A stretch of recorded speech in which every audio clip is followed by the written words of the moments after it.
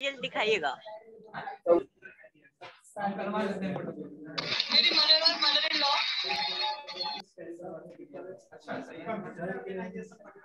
Sir result कब दिखाइएगा? करेंगे। कौन सा चैप्टर चैप्टर थ्री चैप्टर दो में कोई डाउट चैप्टर वन और टू में कोई डाउट यस सर क्या डाउट है बताओ। एक एक करके कोई बच्चा बोलेगा बार बार रिमेम्बर करोगे तो आवाज़ गूंजेगी बताओ। चैप्टर फ़र्स्ट और चैप्टर सेकंड में कोई डाउट है तो बताइए। बेसिक डाउट और अलग चीज़, अलग बात है। बेसिक डाउट कोई चीज़ समझने में? अब हम लोग शुरू करेंगे topic computer organisation computer organisation का मतलब ये हुआ चैप्टर थ्री कंप्यूटर ऑर्गेनाइजेशन का क्या मतलब हुआ? आप लोगों ने पढ़ा होगा ये पढ़े हैं? एंड गेट और गेट से पढ़े हैं? Logical gates yes sir and gate और गेट और लॉजिक गेट मल्टीप्लेक्सर अच्छा मल्टीप्लेक्सर डी मल्टीप्लेक्सर तो हम लोग कंप्यूटर में ये देखते हैं कि आप बटन ऑन किए बटन ऑफ़ किए जैसे स्विच ऑन किए स्विच ऑफ़ किए सब आप लोग सोचते होंगे ये बाइनरी नंबर सिस्टम कितना काम करता है? Either switch on either switch off either zero और वन आइदर ट्रू और फॉल्स बीच का कोई ऑप्शन है नहीं? ये है। तो कंप्यूटर ऑर्गेनाइजेशन में ये है, जो आप लोग पढ़े होंगे कंप्यूटर ऑर्गेनाइजेशन सब्जेक्ट भी पढ़े होंगे, कि कंप्यूटर के सारे पार्ट्स के बारे में, सारे हार्डवेयर कॉन्फ़िगरेशन के बारे में समझना। कंप्यूटर में क्या क्या हार्डवेयर होते हैं? बताओ आप लोग। कंप्यूटर के अंदर क्या क्या होते हैं? माता श्री बोर्ड और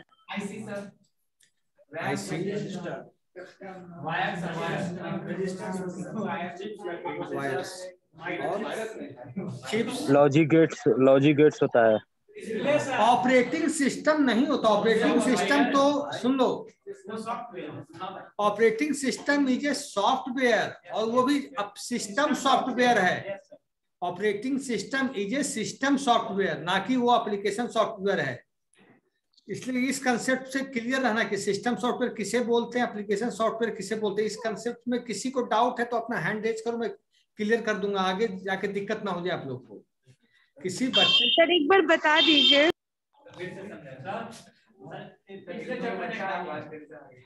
क्या बोलो बोलो। थर्ड जनरेशन से आईसी नहीं आईसी आप हार्ड डिस्क का कंसेप्ट आ गया था जैसे हम लोग ने खरीदा था फोर्थ जनरेशन कंप्यूटर मेरे पास था तो हार्ड डिस्क का कंसेप्ट था आ गया था। लेकिन उस समय जैसे आर्चिवल स्टोरेज के रूप में मैग्नेटिक टेप था। मैग्नेटिक डिस्क थी। वो सब चीज़ें पहले थी। आज है क्या हार्ड डिस्क है एक्सटर्नल डिस्क है पेन ड्राइव है सीडी है डीवीडी है लेकिन उस समय में मैग्नेटिक टेप और मैग्नेटिक डिस्क से स्टोरेज का काम शुरू हुआ था। थर्ड जनरेशन से ही ना ऑपरेटिंग सिस्टम का यूज़ होता था। हाँ ऑपरेटिंग सिस्टम का यूज़ होता था। थर्ड जनरेशन से ना। क्या बोले? थर्ड जनरेशन से ना सर हाँ देखो फ़र्स्ट नहीं ये भी क्लियर करते हैं। फ़र्स्ट और सेकंड जनरेशन में हार्डवेयर ही सिस्टम को कंट्रोल करता था। जैसे फ़र्स्ट जनरेशन किस चीज़ का बना हुआ था? वैक्यूम ट्यूब का ना? उसमें होता था वैक्यूम ट्यूब का कंसेप्ट था फ़र्स्ट जनरेशन में तो वैक्यूम ट्यूब ही मशीन को कंट्रोल करता था। मैंने बताया था फ़र्स्ट जनरेशन कंप्यूटर्स में क्या थे? वैक्यूम ट्यूब सर्किटिंग थी, इतना वैक्यूम ट्यूब था कि एक रूम के रूम के बराबर एक सिस्टम हो जाता था, लगभग इतने मतलब बीस हज़ार वैक्यूम ट्यूब लगे हुए थे एक सिस्टम के अंदर। एक कंप्यूटर के अंदर up to twenty thousand vacuum tubes लगे थे। अपना बच्चा है बाहर का है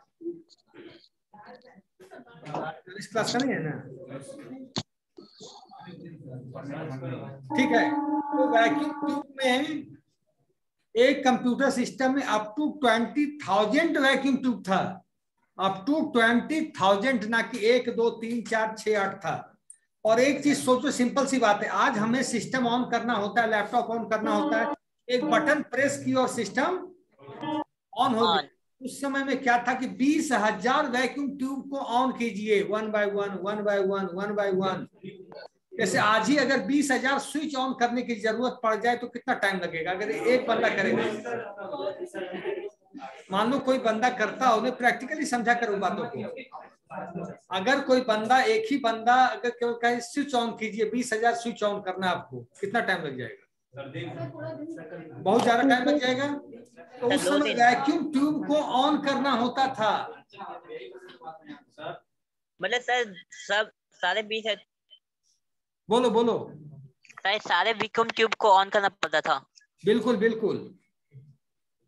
तो सारे वैक्यूम ट्यूब को ऑन करना पड़ता था। सोचो जब ऑन करने में इतना टाइम लगा फिर machine comes into the action machine action में आ गई काम करने लगी। और उस समय उसमें ऑपरेटिंग सिस्टम का कंसेप्ट नहीं था। ऑपरेटिंग सिस्टम का कंसेप्ट आने के बाद क्या फ़ायदा हुआ? Process management CPU scheduling memory management सब आसान हो गया। पहले क्या होता था? एक आदमी बैठा हुआ है मशीन पे, एक आदमी कंप्यूटर सिस्टम पे बैठा है।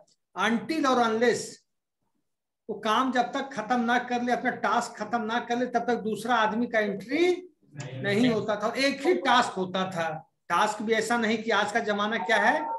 मल्टीटास्किंग है टाइम शेयरिंग है मल्टी प्रोग्रामिंग है एक साथ मल्टीपल टास्क मल्टीपल प्रोग्राम आप और सर से पहले नहीं। था। पहले क्या था? जो भी एप्लीकेशन चल रहा है वो केवल एक चलेगा। अनटिल और अनलेस जब तक वो एप्लीकेशन पे काम फिनिश नहीं हो जाएगा तब तक दूसरा बंदा उस सिस्टम पे काम नहीं कर सकेगा या दूसरा एप्लीकेशन नहीं चल पाएगा। आज कितना एप्लीकेशन एक साथ चला सकते हैं हम लोग? पहले बीस हज़ार वैक्यूम ट्यूब वाला कंसेप्ट अब क्या है सिस्टम्स के अंदर? सीपीयू है। एस एम पी एस है। एस एम पी एस जैसे इस पूरे सिस्टम को लाइट कौन प्रोवाइड कराता है? सारे पोर्ट को करंट कौन भेजता है? विच which part is responsible for transferring the current to all the parts? All the port या unit of the system. कुमारी कौन है? है जो सारे यूनिट को जितना भी इसमें लगा हुआ है सारे कनेक्टर है ना इससे आप काम ले सकते हैं सारे से? ले सकते हैं कि नहीं? जैसे नेट भी चल रहा है तो क्या बिना बिजली के अगर सिस्टम बंद हो जाएगा तो क्या नेट का ये वायर अंदर जाके भी कुछ कर पाएगा? या हम अगर म्यूज़िक सुन रहे हैं या गाना सुन रहे हैं या कीबोर्ड इसमें लगाए या माउस इसमें हम कनेक्ट किए कर सकते हैं ना? लेकिन क्या बिना इलेक्ट्रिसिटी के क्या वो काम कर पाएगा? कर सकता हमको नहीं लगता है। लेकिन कौन ऐसा इसमें डिवाइस है अपने कंप्यूटर सिस्टम के अंदर जिसकी ड्यूटी है सारे जगह इलेक्ट्रिसिटी भेजना? S M P S S M P S का फुल फॉर्म बताओ। Switch mode power supply. जब कंप्यूटर में बिजली आती है, करंट आती है, सुन लो। जब कंप्यूटर में करंट आती है तो सबसे पहले एस एम पी एस में जाती है। जैसे आप देखते होंगे घर के बाहर या ऑफ़िस के बाहर ट्रांसफार्मर होता है। क्या लाइट डायरेक्ट घर में आ जाती है कि थ्रू द ट्रांसफार्मर आती है? थ्रू द ट्रांसफार्मर आती है। तो उसी तरह S M P S plays role as a transformer of the computer system कि वहाँ से लाइट आई, उसको लाइट मिली। जैसे ही हमने लगाया, सबसे पहले करंट किसको मिला? एस एम पी एस को। फिर एस एम पी एस ने सारे पोर्ट को देना शुरू किया। हार्ड डिस्क को दिया मदरबोर्ड को दिया रैम को दिया रोम को दिया, सारे आउटपोस्ट पोर्ट ये जिसको बोलते हैं आउटर पोस्ट है ना? सारे आउटर पोस्ट को लाइट उसी के कारण आई। ठीक है? और बताओ कंप्यूटर में अब और मैं पूछता हुआ क्वेश्चन मैंने दिया होगा what is difference between RAM and ROM दिया था कि नहीं दिया था? इसमें बताओ रैम क्या है और रोम क्या है? और रोम वो भी प्राइमरी दोनों हो सकता है। यस रैम को रैंडम एक्सेस मेमोरी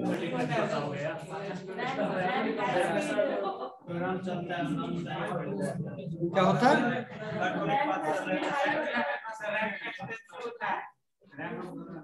अच्छा रोम रोम को रीड ओनली मेमोरी क्यों बोलते हैं? Why we are not calling ROM as a read only memory क्योंकि राइट नहीं करते। उसमें सुन लो। रैम में हम लोग क्या कर सकते हैं? एप्लीकेशन को रन करा सकते हैं। एप्लीकेशन को चला सकते हैं। चाहे अभी आपको कुछ भी करना हो अब मेरा दूसरा क्वेश्चन हम कोई एप्लीकेशन को सेव करना चाहते हैं। मैं जिससे पूछूँगा सब बच्चा हैंड रेज मत करना ताकि कंसेप्ट भविष्य में सबका क्लियर रहे। अब हम कोई अपने एक मूवी को हम सेव करना चाह रहे हैं। एक मूवी हमें देखनी है हम सेव करना चाह रहे हैं तो कहाँ जाएगा सिस्टम के अंदर? में एक मैंने मूवी सेव करनी है और उसे सेव करना है परमानेंटली तो वो कहाँ जाएगा? आप बताइए। हार्ड डिस्क में। आप। आप बोलिए। हम्म? हाँ अब सुन लीजिए। कोई भी अब ध्यान दीजिए दीजिएगा, कोई भी यूज़र्स प्रोग्राम्स यूज़र्स प्रोग्राम्स का मतलब जो हम लोग यूज़र जो प्रोग्राम उसके अंदर डाल रहे हैं, हम लोग जो प्रोग्राम डाल रहे हैं we are end user of the system we all are end user हम लोग कुछ डेवलप तो नहीं कर रहे हैं, जो सिस्टम हमें मिला है मदरबोर्ड रैम हार्ड उसी पे तो काम कर रहे हैं तो we all are end user जब कोई चीज़ हम सेव करते हैं तो उसको बोलते हैं यूज़र प्रोग्राम्स बोलते हैं। यूज़र प्रोग्राम्स में, चाहे मूवीज़ हो गया सॉन्ग हो गया, कोई सॉफ्टवेयर हो गया, जो भी हम सेव करते हैं all thing saves in the hard disk सारा चीज़ कहाँ पे रखा होता है? हार्ड डिस्क के अंदर सारी चीज़ें रखी होती है। तो उसको हम लोग क्या बोलते हैं? यूज़र प्रोग्राम जो हम परमानेंटली सेव करते हैं तो कहाँ रहता है? हार्ड डिस्क में। ठीक है। हमने रख दिया। अब हमें मान लीजिए उस सॉफ्टवेयर को या उस मूवी को चलाना है एग्जीक्यूट कराना है। चलाना मतलब रन कराना मतलब एग्जीक्यूट कराना तीनों एक चीज़ है। तो फिर वो कहाँ आएगा? जब उस मूवी को हमें चलाना है तो हार्ड डिस्क से ही चल जाएगा कि कहीं और जाएगा? उस मूवी को चलाना है उसको मैंने स्टोर करके कहा रख दिया है? हार्ड डिस्क अब उसको देखना है। अब कैसे देखेंगे? वो हार्डी से ही चल जाएगा कि कहीं और जाएगा चलने के लिए? कहीं आप बताइए। आप बताइए। आप? हाँ। तो जब एप्लीकेशन जब चलेगा when user programs will be run when software will be run when your movie will be run when your audio video और any application will be run जब वो चलेगा, जब उस पर काम होगा तो कहाँ पे आ जाएगा? रैम में आ जाएगा। ठीक है? अब नेक्स्ट क्वेश्चन रैम रोम पे भी आएँगे। What is difference between primary memory मतलब रैम और सेकेंडरी मेमोरी मैं जिसे पूछूँगा, वो बच्चा बोलेगा। आप बताइए। What is difference between primary memory and secondary memory है? सेकेंडरी मेमोरी होता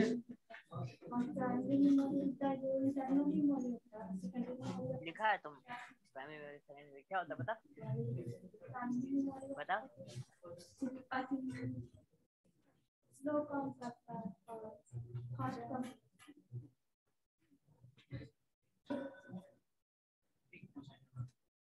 रैंडम एक्सेस रेड कलर का मास्क पहने आपका नाम क्या है? अभिषेक कुमार। अभिषेक कुमार आप बताइए what is difference between primary memory and secondary memory primary memory sir volatile और सेकेंडरी नॉन वोलेटाइल होता है। प्राइमरी मेमोरी लाइट जिसमें होता है उसी समय काम करता है। और सेकेंडरी मेमोरी हम फ्यूचर में कभी भी उसमें स्टोर करके यूज़ कर सकते हैं। प्राइमरी मेमोरी कॉस्टली होता है सेकेंडरी मेमोरी चीपर होता है प्राइमरी ठीक है अच्छे अच्छे पॉइंट बताए। बैठिए आप। आपका नाम क्या है? सुषमा। आप ये बताइए उस बंदे ने बोला प्राइमरी मेमोरी वोलेटाइल होता है। सेकेंडरी मेमोरी नॉन वोलेटाइल होता है। आपके क्लासमेट अभिषेक कुमार में। What is difference between please what is difference between volatile and non volatile volatile और नॉन वोलेटाइल में क्या अंतर होता है? बैठ जाइए। आप बताइए। सर सर टू फास्टर होगा गलत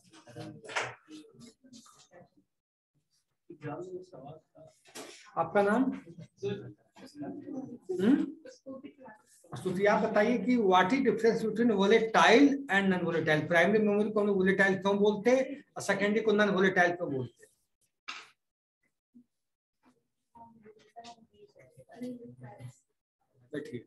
आप बताइए।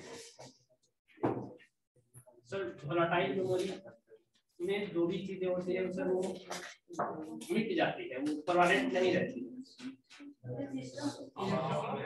हाँ, sir.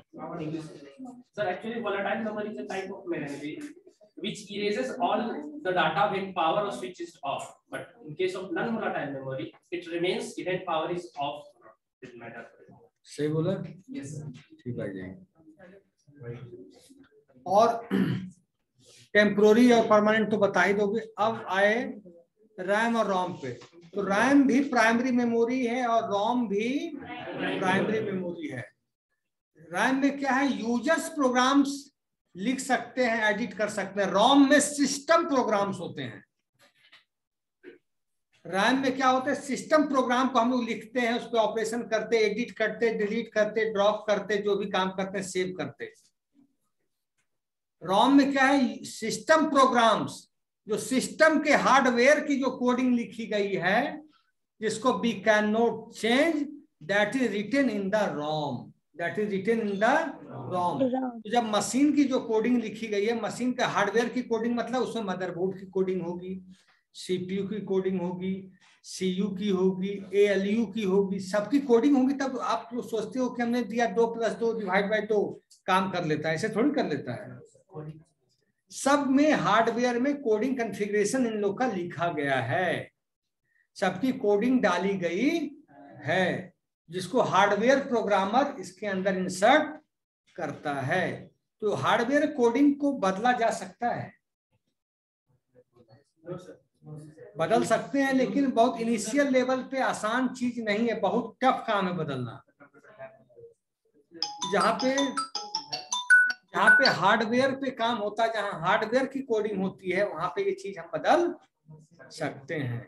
ऐसा नहीं कि हार्डवेयर प्रोग्रामर होते हैं मालूम होना चाहिए इस हार्डवेयर प्रोग्रामर होते हैं रॉम का कोडिंग कौन लिखता होगा? ऐसे सॉफ्टवेयर तुम लोग तो सॉफ्टवेयर प्रोग्रामिंग में जा रहे हो हार्डवेयर का जो प्रोग्रामर होता है वो रोम की कोडिंग करता है रोम की कोडिंग लिखता है। समझ गए? तो हार्डवेयर की कोडिंग बदलना थोड़ी सी डिफ़िकल्ट होती है इसलिए हम लोग उसको बोलते हैं रीड ओनली मेमोरी क्योंकि जैसे अब जनरल पर्पस जो कंप्यूटर हम यूज़ कर रहे हैं उसकी हार्डवेयर कोडिंग मोर और लेस सबकी एक जैसी लिखी होती है। ठीक है? हाँ। इसलिए रोम भी प्राइमरी मेमोरी है बट रीड ओनली मेमोरी है।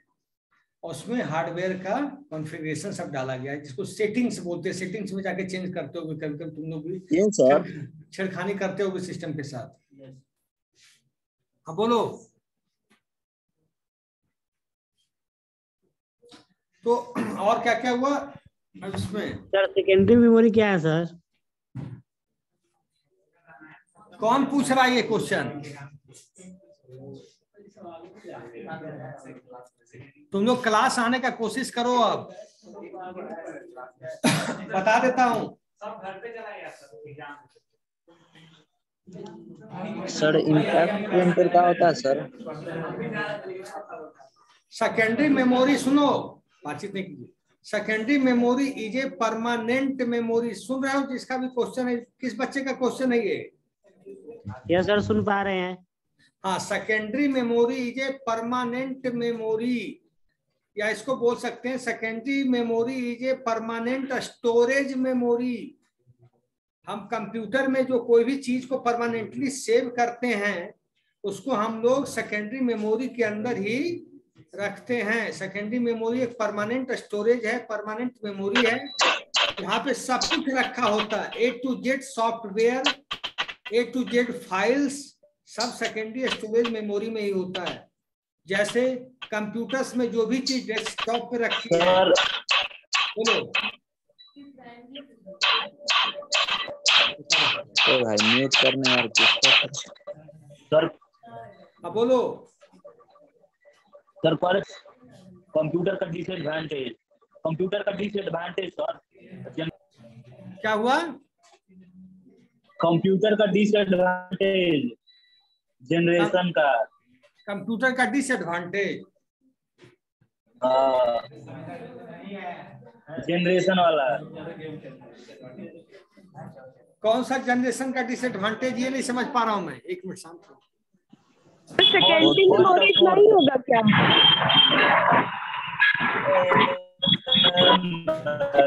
किसके यहाँ ऐसी आवाज़ आ रही है? क्लास डिस्टर्ब करके।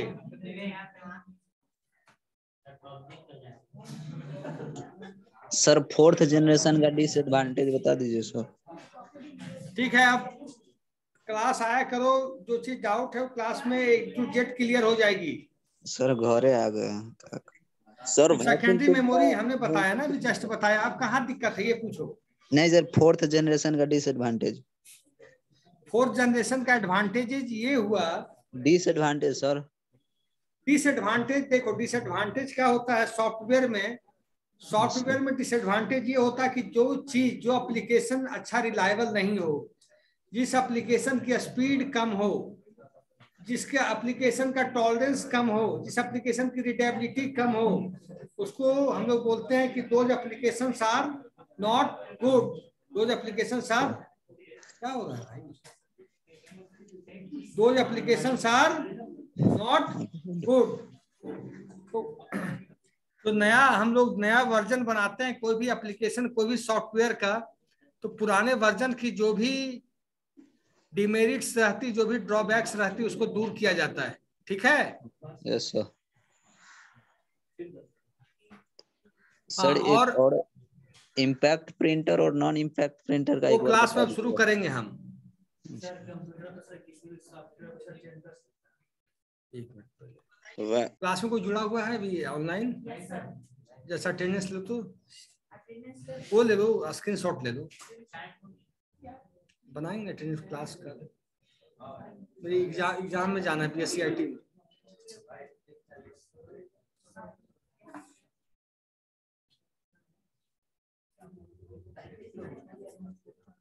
ले लिए पहले।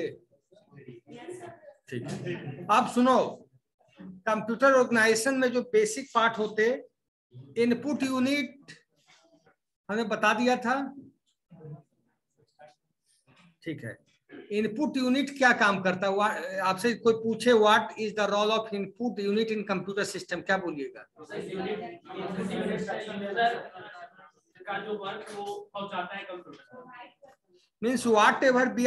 inputting into the machine, whatever we are inputting into the machine, चाहे वो टेक्स्ट टेक्स्ट इनपुट करना हो इमेज इनपुट करना हो ग्राफिक्स इनपुट करना हो ऑडियो वीडियो जैसे मोबाइल पे आप व्हाट्सएप पे बोल के करते हैं तो क्या that is also an inputting process आप अपनी वॉइस को मोबाइल के थ्रू व्हाट्सएप के थ्रू आपने इनपुट किया, तब तो सामने वाले बंदे को समझ में आया then he get your input converted for output to other person हुआ कि नहीं? Then he is replying yes और नो जो भी आप मैसेज करते हैं तो इनपुट और आउटपुट तो इनपुट यूनिट कंप्यूटर सिस्टम के क्या क्या होंगे फाइव इनपुट यूनिट का नाम मैं जिससे पूछूँगा आप बताइए। इनपुट का।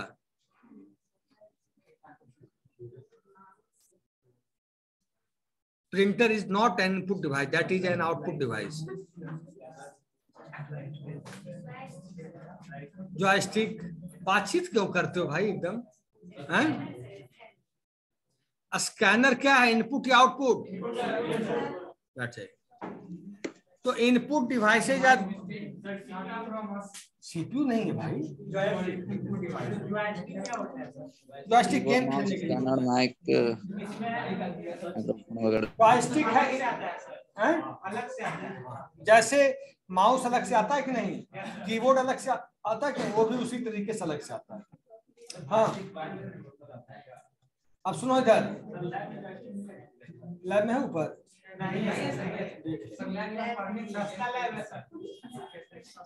तो इनपुट डिवाइस क्या होता है? Input unit are those input devices are those devices which is use for inputting inputting the text data information graphics animation instructions into the our computer system जो जैसे हम लोग कीबोर्ड के थ्रू कर सकते हैं माउस के थ्रू कर सकते हैं स्कैनर के थ्रू डेटा को हमने स्कैन किया डेटा को इनपुट ले लिया कि नहीं?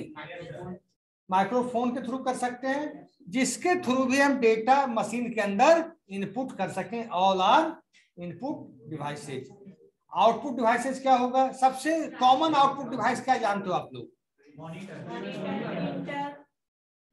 कीबोर्ड माउस सबसे आसान तो मॉनिटर है प्रिंटर आपका प्रिंट निकलेगा तब आप देखिएगा। हाँ।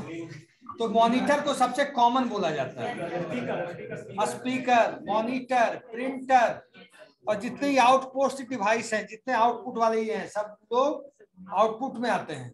इनपुट आउट कौन?